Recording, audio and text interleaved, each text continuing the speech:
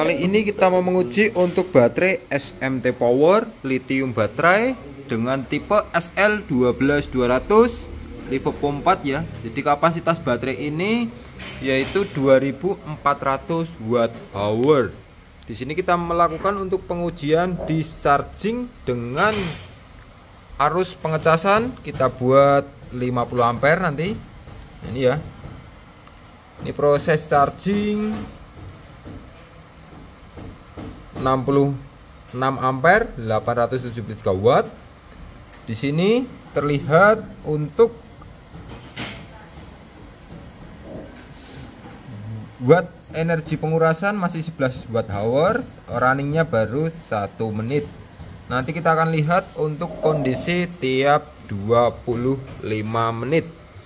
Nah diprediksi di sini sampai dengan habis selama kurang lebih 3 jam.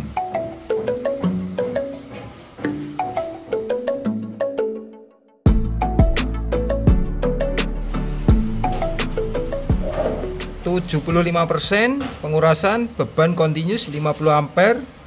Di sini energi terkuras 623 watt hour. Waktunya ini running 59 menit hampir 1 jam. Load continuous 50 ampere.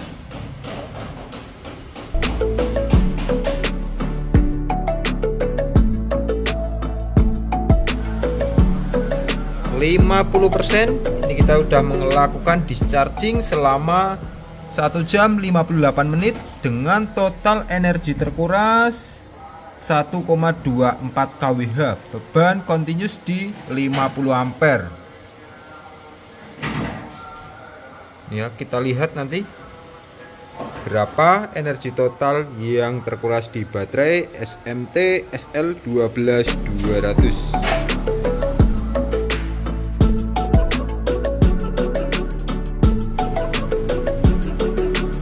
SOC 25% ini pengurasan sudah 2 jam 57 menit dengan total energi terkuras 1,86 kWh.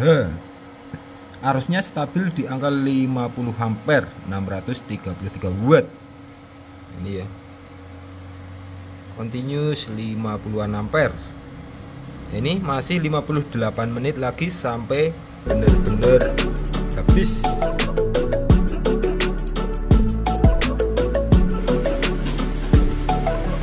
SOC 0% ya ini jadi kita sudah kuras untuk running hampir 4 jam 3 jam 57 menit dengan total energi terkuras pada baterai SMT ini yaitu 2,47 kWh dengan beban continuous 50 ampere atau di angka 600-an watt.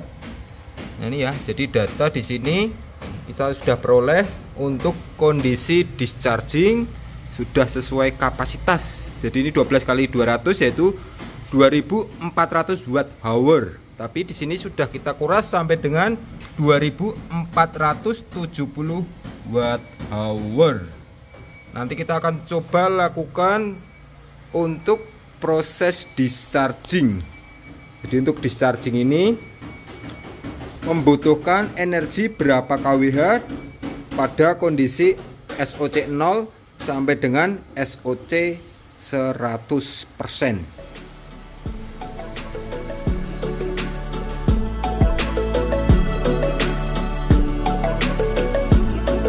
Ini ya teman-teman, untuk sekarang kita lakukan untuk proses charging. Jadi kita ingin tahu data kebutuhan charging ini berapa kWh ya dari kondisi SOC 0% sampai dengan 100%. Nah, di sini kita bisa lihat nanti pembacaan dibuat meter, total energi kebutuhan dan runningnya membutuhkan waktu berapa jam dengan beban ini atau daya charging 50 ampere di angka 600 watt. Ya, kurang lebih hampir 4 jam ya untuk sampai full. Nah, ini di angka 50 ampere.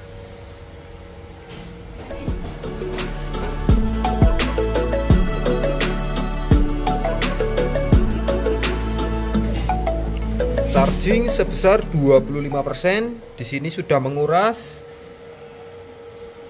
Untuk energi penchargingan ya 666 watt hour. Dengan arus continuous 51 ampere. Ini untuk runningnya sudah 59 menit hampir satu jam. Nanti kita lihat untuk charging di 50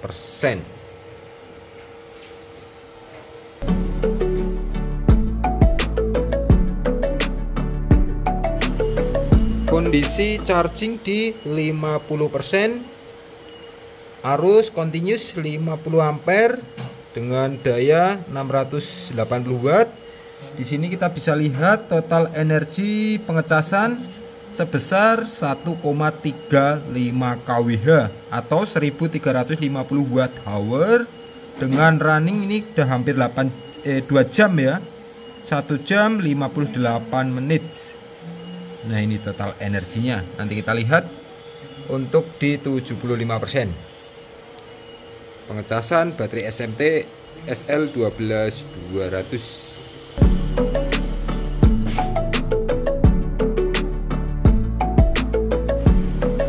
75% arus masih continuous untuk arus charging 50 ampere.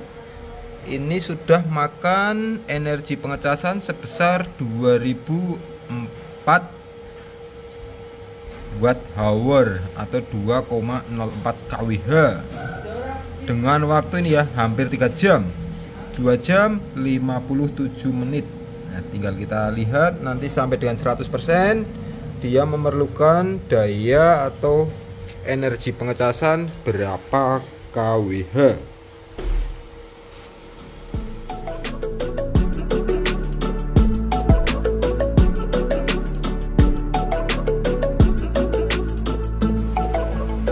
kondisi charging ini udah 100% atau kapasitas 200 ampere. Ini sudah memproteksi ya karena kondisi udah full. Nah, di sini proses active balance juga on. Nah nominal tegangan di 14 volt. Kita lihat untuk total energi 0% sampai dengan 100% ya ini 2,69 kWh. Terus hampir 2,7 kWh ya. Running selama 4 jam untuk arus charging konstan di 50 ampere. 600an watt sana teman-teman. Jadi di sini kita bisa uh, simpulkan untuk data discharging kapasitasnya 2,4 kWh lebih sedikit. Dan untuk kapasitas charging datanya ya ini 2,7 kWh ada selisih discharging dan charging sebesar 300 watt hour. Ini untuk pengujian baterai SMT Power SL12200 untuk kapasitas charging maupun discharging